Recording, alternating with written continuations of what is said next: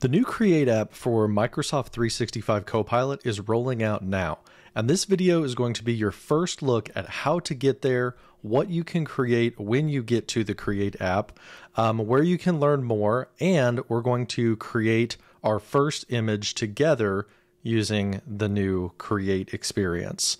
So let's dive right in and take a look at the new application. First, let's talk about how to get to the new Create app in Microsoft 365 Copilot. To get there, you need to have a Copilot license, Microsoft 365 Copilot license for your enterprise account, and you need to have the new Copilot web UI. So if you go to m365.cloud.microsoft or office.com and you see this new interface right here with all of your apps along the side right here, then you'll have that new application.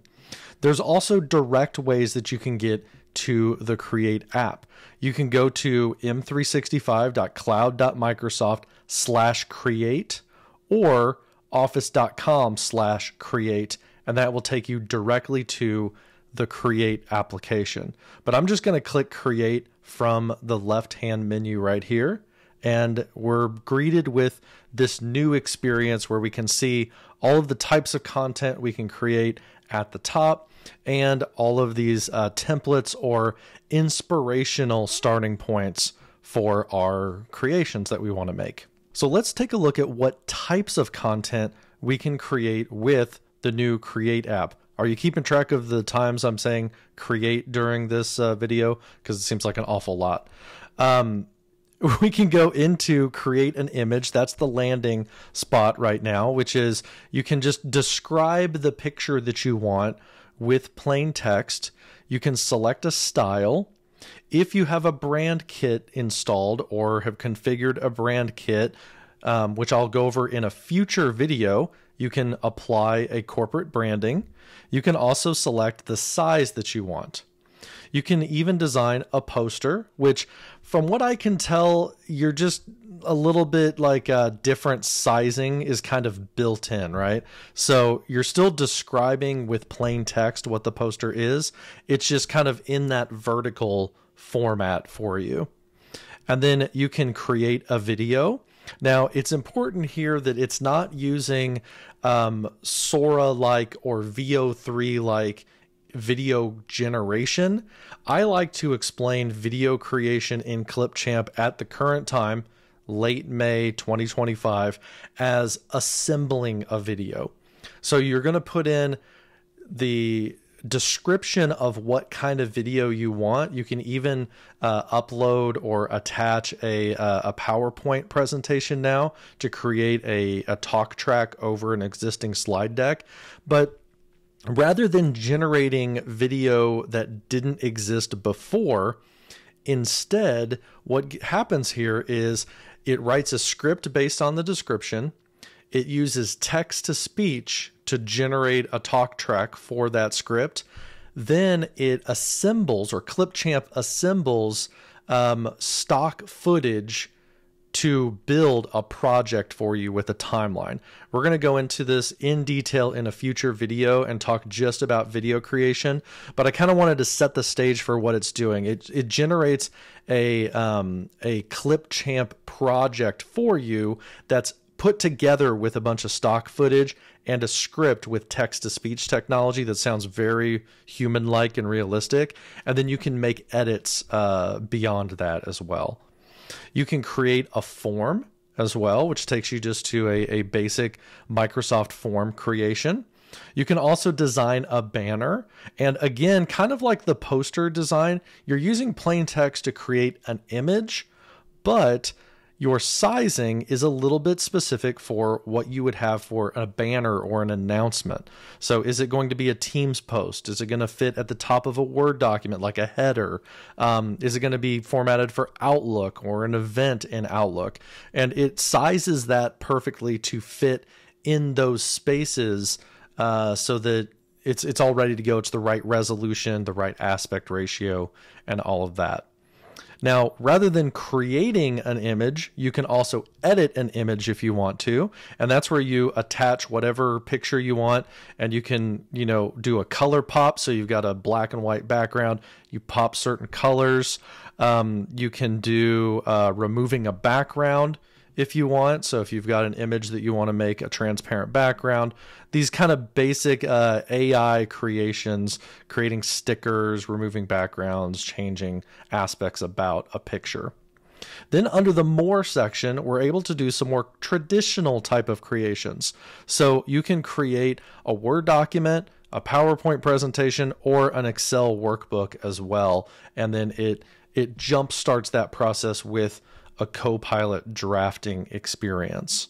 So that is the things that you can do in the Create app, a little tour of the interface. Now, before we get into a demo, where can we learn more about the Microsoft Copilot Create app? Well, under that More section, there is an About Create button right here. If you click on that, that will take you directly to an FAQ or frequently asked questions about the Create app in Microsoft 365 Copilot. And it gives you a little bit of like, you know, an overview of what you can do, how your images are used, uh, privacy information, stuff like that. Now, I found also on learn.microsoft or support.microsoft.com, there's an entire category for uh, getting started with the Create app. So it's got um, how to use it, how to navigate it, which we just talked about, but it goes deeper into creating images, forms, videos, you know, things like that. So, like if you want to create an image, it talks you through step by step how to do that. But if you're watching this video, you probably want to see this a little bit more visually, right? So, what we're going to do is we're going to generate an image, and I want to show you kind of my early process for using a template to create an image and not start with like a blank prompt. So if we go back over to the Create app, we're going to go to the landing page right here and we can describe our image. Now, if we open this up, it's pretty blank, right? And that can kind of lead to writer's block a little bit, um, a creative block that we might have. So, what I'm going to do is I'm going to use one of these inspirational images right here. These are really cool because there's categories up at the top.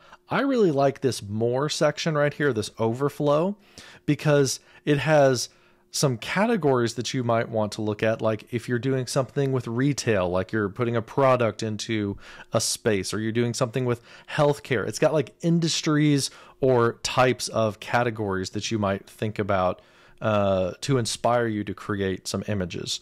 So i'm going to go down here and i want to play with um, the copilot logo right? Let's pretend that the copilot logo i want to see what it looks like uh, as a product, right? Like maybe I want to 3D print the product logo for Copilot or something like that. So I'm going to select this template right here that's kind of like this speaker on a desk. It looks really cool. I love desk layout type of pictures. So I can see what the prompt is if I mouse over that. Yeah, I want to place the speaker on a white desk. These are variables or fill in the blank areas. So I'm going to click on that and you see that it puts that kind of Mad Lib style on my uh, prompt area. So I want to place the speaker. Well, I don't want the speaker. I want to replace that image with the Copilot logo. So I'm going to take this and I'm going to replace it with uh, on my desktop right here, Copilot logo.png. And I'm going to place the Copilot logo on a white desk next to I do like that laptop, that notebook, and that plant picture. So we're gonna leave that there um, with directional lighting coming from a window. So that looks pretty good. Um, you can fill in the blank with whatever things you want to use. Now, I can also edit this prompt. If it's like, this is too constrained, I want to add or remove entire sentences into my prompt, you can click Edit Prompt right here. So if I click on that, now it's just plain text, right? So I can just go with that plain text and add or remove elements uh, however I want. So then I can create a style And again, this is a picker. I love this over something like a ChatGPT image generation where you're doing everything with text. This kind of puts an interface in front of it. So I can go visually. Do I want like a whimsical 3D type of layout? Do I want neon artwork? Do I want like synthwave, you know, retro future type of stuff? Um, do I want a watercolor or things like that? So I can apply a style to it. Although I think I want to stick to that photorealistic style, so I'm just not going to select a style. Um, we're going to talk about brand in a future version or a future video. Um, and then I can select a size. So I can go with a square, I can go with a portrait, you know, a tall picture, or I can go with a wide picture. Um, let's say that I'm making this for like Instagram, right? So I want like a one by one square image. So I'm going to keep that square size. So we're just going to click create now and let it generate that image from that prompt. And if you've used image generation in the past, uh, you might notice that it takes a little bit longer to do it this way. We're using the OpenAI uh, GPT 4o engine for creating images now with this uh, new Create app.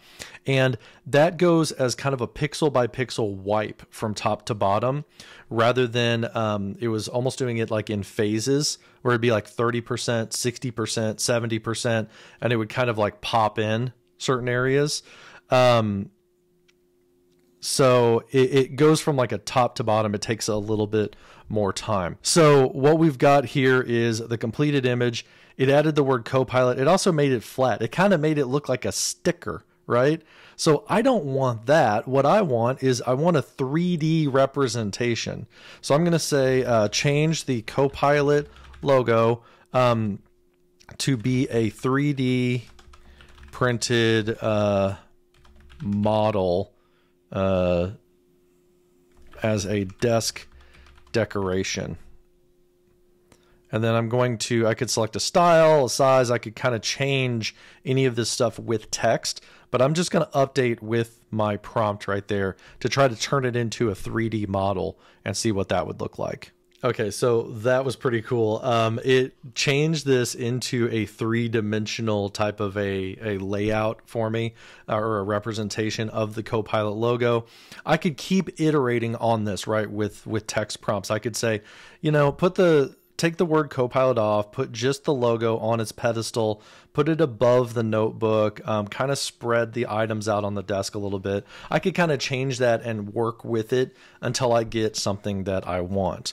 Now, further on to this, I can go in and I can use uh, AI editing to like erase things or add other elements to the image, remove the background, stuff like that. I could add text if I want to uh, from my brand kit or just other fun text representations. I can upload actual pictures if I want to, uh, also different visualizations if I want from an image library of graphics. I can also mark up the image if I want to kind of draw on it. I could do that as well. And this is all layer based, so I could add layers of text or layers of graphics, things like that. Um, but the last thing I want to show you, because this is just a first look, is the options across the top right here. I can also resize this image. So this is a square one by one type of image. I could size it for social media, like if I want it to be square or for an Instagram story or a Facebook cover page, things like that. I could uh, arrange it for like a paper printout, something like that. Um, I'm going to keep the original square, but the last thing I wanted to show you is how to get this out of Create. That's with, of course, the download button right here. And you have a few options to download your creation. You can download a PNG, a JPEG, or even a PDF of that design. And you can either copy it as an image so you can go paste it somewhere else, or you can just hit download right there. And then finally, it's important to understand the content credentials like this was created. It does actually stamp that stuff uh, into the image, and you can choose to embed that in the file for where this came from, when it was created, uh, it was produced by me, what I did in the image. I can actually embed that into the picture that gets downloaded and then I can just download that as a PNG file and take it and use it however I want. So um, that is a quick first look.